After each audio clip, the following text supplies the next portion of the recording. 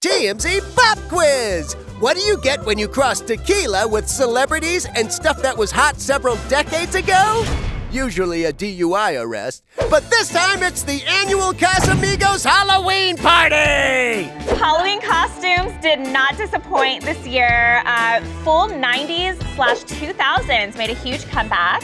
So Josh Duhamel showed up as Anna Nicole Smith's old husband. A nod to Josh and his new bride's 21 year age difference. And Anna Nicole and her geriatric sugar daddy weren't the only 90s couple on display. Megan Fox and MGK did Tommy Lee and Pam Anderson. So iconic. That's spot on. That was hardly a stretch. Well, to be fair, anytime a man wants to look like Tommy Lee, there's probably some stretching involved. And then, of course, Paris Hilton as Sailor Moon, and then her husband Carter as Tuxedo Mask. The throwback vibes continued into parties on Saturday night, with the Riverdale gang doing their best hocus pocus transformation.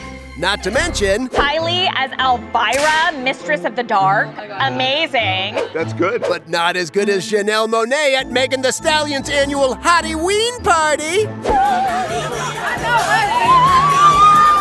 Janelle Monáe is the character from the Fifth Element. Which, which what? She was like a, a monster thing with the things out of your head. Wow, the real Barbie couldn't have explained it better herself. Happy Halloween, everybody!